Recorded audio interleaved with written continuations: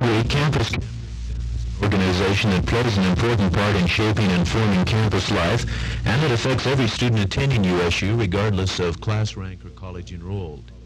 Even though this group exhibits a great amount of influence over the course of the year regarding student activities, the existence or even the purpose for their existence is not known to many students. Therefore, this week we are presenting the Executive Council in an effort to increase the students, the students' understanding and awareness of this group, and hopefully the amount of interaction interact students and their representatives.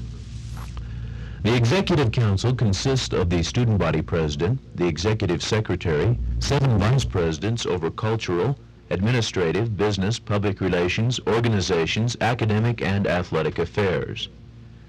The basic purpose for the existence of this council is to decide the allocation of student funds to help provide the many varied activities that will involve as many students as possible, to decide matters dealing with the constitution of the Associated Students of Utah State University, to defend student rights, to serve as liaison between the students and the administration, to urge academic change when necessary, and to deal with bills and resolutions brought before the Council.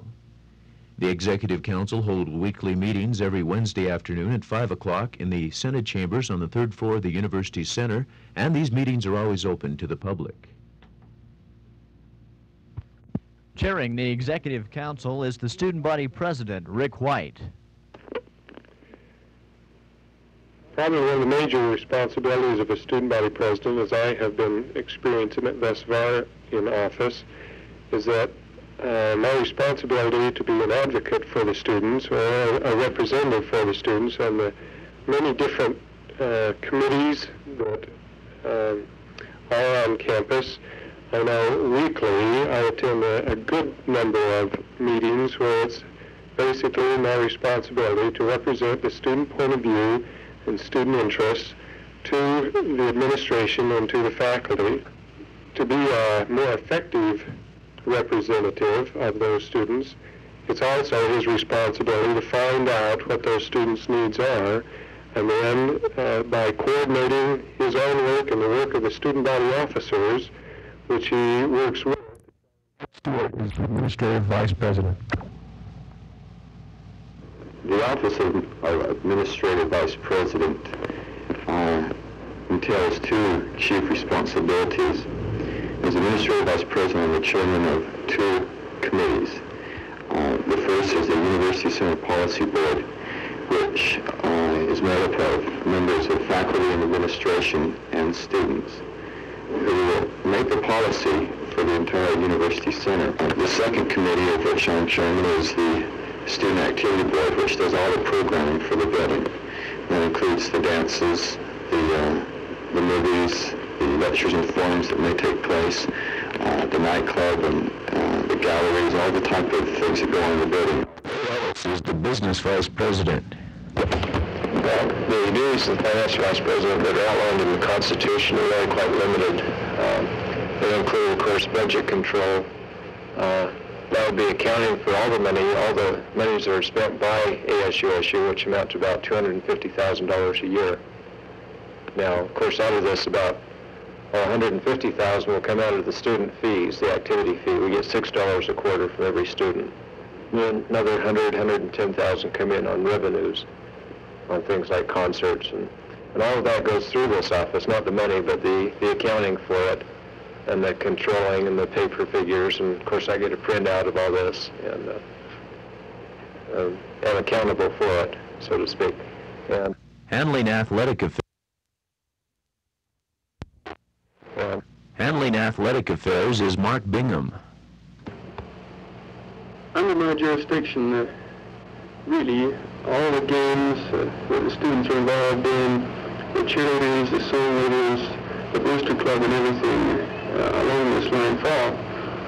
Present, uh, along with working with the cheerleaders and songwriters at the games, we're trying uh, with all diligence to develop a mascot that will, be acceptable to the students and at the same time will represent um, Utah State for what it is, an Aggie. Um, we're right now making new uniforms for the songwriters and the cheerleaders, one of which uh, you've just seen or will see. a lot of things go through the office. Athletics, of course, receives $5 per quarter per student for their uh, program. Associated students get, for student body officers, in essence, get $5 per quarter per student, which they handles the organizations on the USU campus.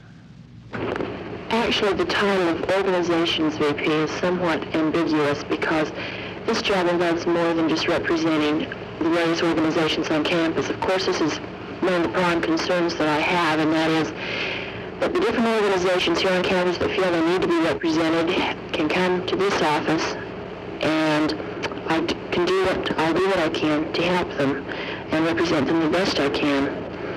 But like I said, the job involves more than that, and one of the big aspects of this position is the volunteer service program. And this is something that I'm working on this year, and, and I see this year as being kind of the foundation or the base to build on for uh, future years. The volunteer service program includes a Millville project last year, which was a, a cleanup project in Ecology Drive. Uh, right now, also, we're planning one for spring again. Miles Jensen. Miles Jensen is the academic vice president.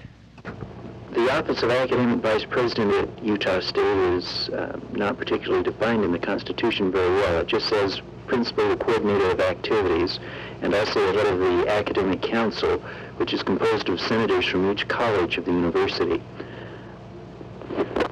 As coordinator of committees on the university, this year uh, we're expanding this role, we hope, quite a bit from the past. We're going to try and see uh, that students are attending committees and being active in committee decisions. Um, and we're also trying to get better and more students appointed on committees throughout the university. Uh, any students who uh, want to be appointed to most committees in the university can work through this office to gain appointments. George Daines is cultural vice president at Utah State. The cultural vice president has four main responsibilities. He's in charge of the popular concerts at the university. He's in charge of the lecture program, the fine arts concert, and the fine arts film festival. Now, the main responsibility that concerns students is the popular concert. So we're making an effort to bring in concerts that are more appealing to the broad background of students. Uh, there's a committee that does the advertising for these, and there's also a committee that does the selection. I know after the first of the year we'll be having several really excellent concerts. We'll be having the Carpenters and the Nitty Gritty Dirt Band. We're also working on funding up a contract with the Fifth Dimension into May.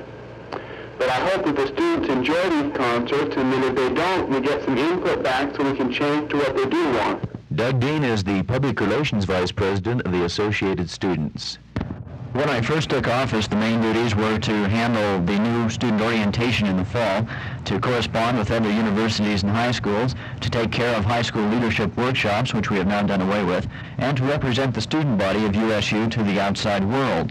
We've added some new things to the office, like now I officiate over the phone, which is the Codaphone in the Activity Center, which records any message that someone might wish to convey to the Executive Council. And also I'm in charge of the polling group, which now will kind of help the Executive Council to know the wants and desires of the students. Also the Ombudsman Committee, brand new on campus, to help act as a student lawyer and to stand up for student rights at USU. And also to officiate over the Ombudsman Committee, which has just been set up. What? Oh, my. Oh. Mrs. Johnson, I thought you were your daughter Dale.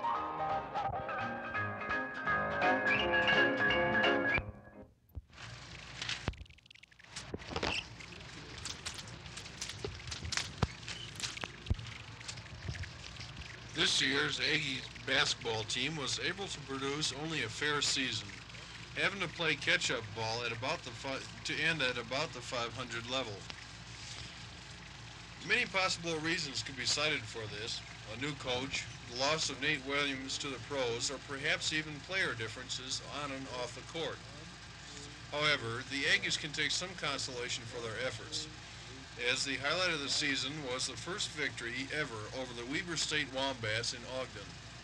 Even though the Aggie team wasn't able to catch fire and missed a postseason playoff bid by a slight margin, the Aggies did draw over 100,000 fans for the second season in a row, that being quite a feat in itself. The Spectrum provided more than adequate facilities for the for Coach T.L. Plains' team to display their talents. However, one area of the arena always in view of the fans, but a place from which few have been able to view the Aggies, is the press box. Located on the north side of the spectrum, perched above the grand general admission seats, the press box hosts a variety of activities that all have an effect upon the game and the viewers. At the far right, as viewed from the student side, are two booths in which the statistics are recorded and tabulated at halftime and at the end of the game. A press sheet is typed, printed, and handed out telling who has scored, how many points are scored by each player, the exact time of the basket, and the type of shot. The main area of the box, the one most noticeable, houses the reporters of various news medias. Starting from the right to left are reporters for the Salt Lake Tribune, Deseret News, Logan Herald, Associated Press, and Utah State's own Student Life. After these are a team statisti statistician and the team cameraman, Ted Hanson of Photo Services on the campus, who take the game films and record the statistics for study later. Also available are facilities for network and local TV hookups where the TV cameras come in and plug right into the press booths and everybody's moved over to another room. In charge of all this is Mr. Ken Mitchell of Sports Information Services. And it's to him that we owe our thanks for the information he has given us. One, two, three, four. Testing, testing. One, two, one one